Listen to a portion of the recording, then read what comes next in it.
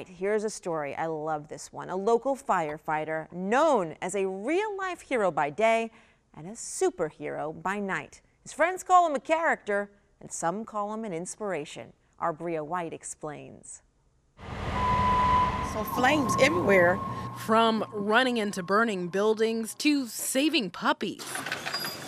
The Prince George's County firefighters, they see a lot. We do it all. Tony Kittrell went from a six figure accounting job to six alarm fires. Protect the citizens, serve the community. You see, Kittrell is a real life hero by day. Yeah, that's a running joke.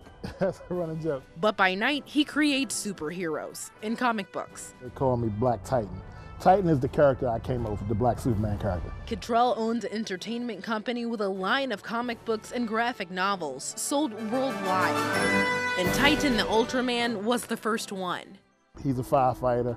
Sound familiar?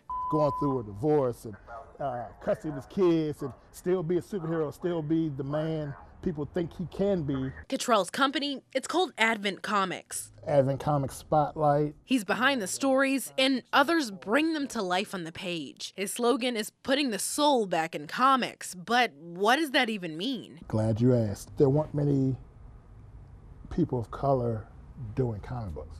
That was my catchphrase, let people know I'm coming. Kittrell says black superheroes are getting more and more attention. You know, we want to basically make the shows that were predominantly white into something that we all can enjoy. In a comic book near you, Bria White, WUSA 9. It's more than comic books. Hollywood is some black people. Um, this is our chance to get our, our stories told and get our foot in the door.